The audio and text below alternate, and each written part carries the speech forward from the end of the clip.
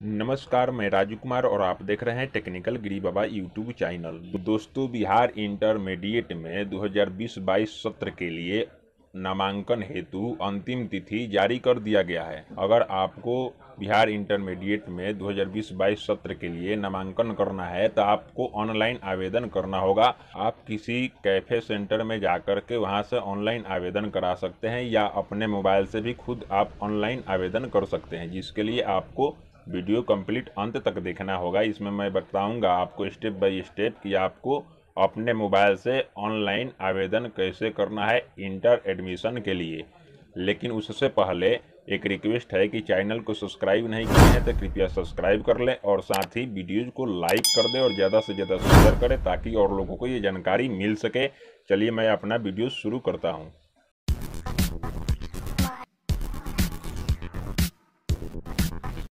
दोस्तों, जैसा कि आप देख पा रहे हैं कि मेरे स्क्रीन पर एक हिंदुस्तान पेपर की कटिंग पड़ी हुई है, जिससे एक खबर निकलकर सामने आ रही है। इंटर नामांकन अब 8 जुलाई से। क्या है पूरी खबर पहले पढ़कर बताता हूँ। फिर मैं आपको स्टेप बाय स्टेप बताऊँगा कि आपको इंटर में एडमिशन के लिए अपने मोबाइल से ऑनलाइन आवेदन कैसे करना है। बिहार बोर्ड ने इंटरमीडिएट सत्र 2020-22 में नामांकन के लिए ऑनलाइन आवेदन की तिथि में बदलाव किया है। बोर्ड की माने तो छात्र O F S S online facilitation system for student software के माध्यम से 8 से 17 जुलाई तक आवेदन करेंगे। पहले बोर्ड ने यह तिथि 1 से 10 जुलाई तक निर्धारित की थी। मैं आपको बता दूँ कि इससे पहले आपको खबर मिली होगी कि 1 जुलाई से इंटर में एडमिशन चालू होने वाला है, लेकिन उसको बदल करके अब 8 जुलाई से कर दिया गया है। बोर्ड द्वारा सामान्य आवेदन प्रपत्र एवं प्रोस्पेक्टस को वेबसाइट www.offsbihar.in पर 29 जून को डाल दिया जाएगा। बोर्ड की माने तो एक मोबाइल नंबर एवं एक ईमेल आईडी का इस्तेमाल मात्र एक आवेदन भरने के लिए किया जाएगा। किसी तरह की दिक्कत हो तो हेल्पलाइन नंबर पर संपर्क कर सकते हैं। मैं आपको यहाँ पर बता दूँ कि एक आवेदन में एक मोबाइल नंबर और एक ईमेल आईडी से एक ही आवेदन होगा। चलिए मैं अब आपको स्टेप बाय स्टेप बताने वाला हूँ। कि किस प्रकार से आप अपने मोबाइल से भी आवेदन कर सकते हैं। या फिर आप अपने नज़दीकी किसी भी कंप्यूटर कैफ़े में जाकर के वहाँ से भी आप ऑनलाइन आवेदन करा सकते हैं या फिर वसुधा केंद्र से भी आवेदन करा सकते हैं। लेकिन मैं आपको यहाँ पे बताऊँगा कि आप अपने मोबाइल से आवेदन कैसे करेंगे। इस अपने मोबाइल से आवेदन करने के लिए सबसे पहले आपको इस वेबसाइट पर आनी होगी ऑफ़ बिहार डॉट इन की वेबसाइट है। ये हमारे डिस्क्रिप्शन बॉक्स में इसका लिंक मिल जाएगा। वहाँ से भी आप यहाँ पर इस वेबसाइट पर आ सकते हैं या फिर गूगल में सर्च करके ऑफ्स बिहार डॉट इन पर भी सर्च करके आप इस वेबसाइट पर आ सकते हैं। वेबसाइट पर आने के बाद सबसे पहले तो अभी आवेदन चालू नहीं किया गया है, लेकिन मैं आपको बता देता हूँ कि किस प्रकार से चालू होगा तो आपको आवेदन करना है। यहाँ पर सबसे पहले आपको देखिए ऑप्शन दिखाई दे रहा है, कॉमन एप्लीकेशन फॉर्म भरने से पहले कॉमन प्रोस्पेक्टस अवश्य पढ़े।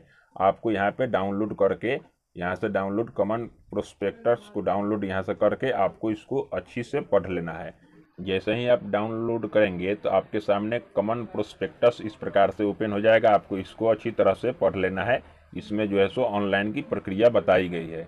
चलिए मैं आपको बताता हूँ कि आवेदन कैसे करना है आपको।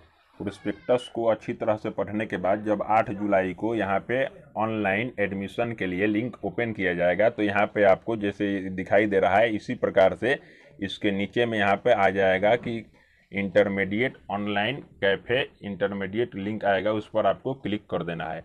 क्लिक करने के बाद कुछ इस प्रकार से इंटरफेस दिखाई देगा। आपको जो है सो कुछ इस प्रकार से इंटरफेस दिखाई देने के बाद आपको नीचे की तरफ़ आना है और जो है सो देखिए आपको जो है दूसरे चरण में आपको इस प्रकार से आपको यहाँ पे टिक कर देना है।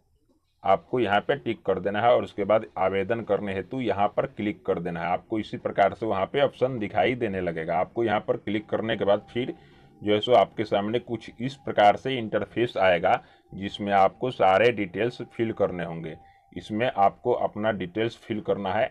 जो है सो अपने सभी जानकारी, प्राप्तांक, सभी फ़ोटो आपको स्कैन करके इसमें फिल कर देना है। फिल करने के बाद इसमें आपको जहाँ से दसवीं क्लास को पास की है, उस स्कूल का भी विवरण आपको यहाँ पे डाल देना है। डालने के बाद चतुर्थ चरण में आपको इस प्रकार से अपना जेंडर है लैंग्वेज है, नागरिकता है, सभी यहाँ से सेलेक्ट कर लेना है। राज्य प्रखंड एड्रेस आपको सिलेक्ट करने के बाद आपको पाँचवें चरण में यहाँ पे जो है सो अपने डिस्ट्रिक्ट का नाम ये सब यहाँ पर चूज़ कर लेना है। चूज़ करने के बाद आपको फिर जो है सो यहाँ पे देखिए टिक करने का ऑप्शन आएगा। यहाँ पे टिक कर देना है और यहाँ पे भी टिक कर देना है। टिक करने के बाद आवेदन शुल्क तीन सौ रुपये जमा करने के लिए यहाँ पर क्लिक करना है। आपको इसमें एडमिशन के लिए कुछ चार्ज लगेंगे। आपको यहाँ पर क्लिक कर देना होगा। इस प्रकार से ऑप्शन आएगा। आपको क्लिक करके और पेमेंट कर देना है। पेमेंट करने के बाद आपके सामने इस प्रकार से आपका जो है सो फॉर्म यहाँ पे ओपन हो जाएगा, जो आपने भरा है। फॉर्म को ओपन होने के बाद यहाँ पे देखिए, सातवें चरण में आपको वन टाइम पासवर्ड जो आपने मोबाइल नंबर और ईमेल आईडी दिया है, उस पर एक पासवर्ड आएगा। उस पासवर्ड को यहाँ पे फिल करने का ऑप्शन इसी प्रकार से आएगा। आपको फिल कर लेना है। फिल करने के बाद देखिए, आपको यहाँ पे अंतिम में कंग्रेचुलेसन का मैसेज आ जाएगा। आपका जो है सो एप्लीकेंट नाम और आईडी ईमेल आईडी सारा चीज़ आपको मिल जाएगा। फिर यहाँ से आपको उसके बाद आप जो है सो इस प्रकार से फॉर्म को प्रिंट आपको कर लेना है। प्रिंट करने के बाद आप उस फॉर्म को प्रिंट कर लेंगे तो फिर वही फॉर्म आपको अपने महाविद्यालय कॉलेज में जमा करना होता है। लेकिन आप फॉर्म तभी प्रिंट कर पाएँगे जब आप पेमेंट कर देंगे। वहाँ से पेमेंट का ऑप्शन आएगा। जब भी ऑनलाइन आठ जुलाई को चालू होगा तो मैं आपको बताऊँगा पूरे स्टेप बाय स्टेप मैं आपको लाइव प्रोसेस करके दिखाऊँगा कि आपको आवेदन कैसे करना है। तब तक के लिए मैं इस प्रकार से जानकारी आपको दे दिया। तो आशा करता हूँ कि ये जानकारी आप सभी को पसंद आएगी। वीडियो को ज़्यादा से ज़्यादा शेयर करें लाइक करें कॉमेंट करें।